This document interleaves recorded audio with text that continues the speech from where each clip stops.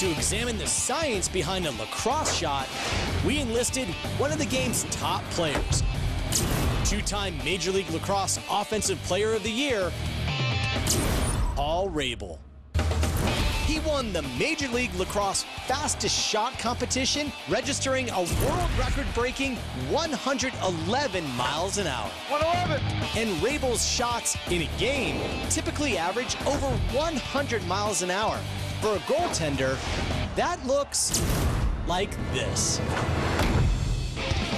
To put this in perspective, from over 60 feet away, a 90 mile an hour fastball crosses home plate in less than 44 hundredths of a second.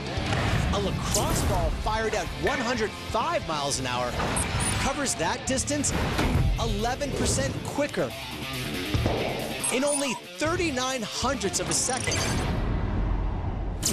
And shots are often fired from less than 30 feet, shaving the time to react to the ball to under 19 hundredths of a second. The secret to Rabil's blazing shot is a combination of biomechanics and physics. The farther an object is from its axis of rotation, the faster its linear speed. His arm and a 40-inch long stick act as a series of levers, extending the ball as far as 62 inches from the main axis of rotation. Rabil maximizes speeds at the end of the lever with superior biomechanics.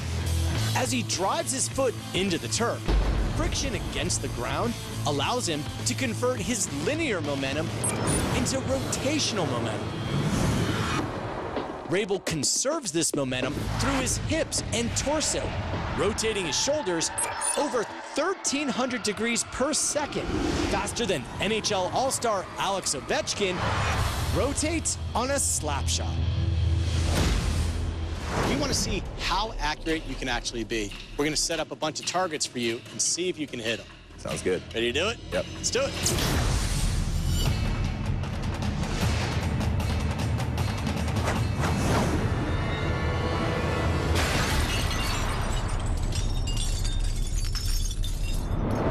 Incredibly, from a distance of 10 yards, Rabil zeroes in on our 10 and a half inch diameter target, breaking four plates within five shots.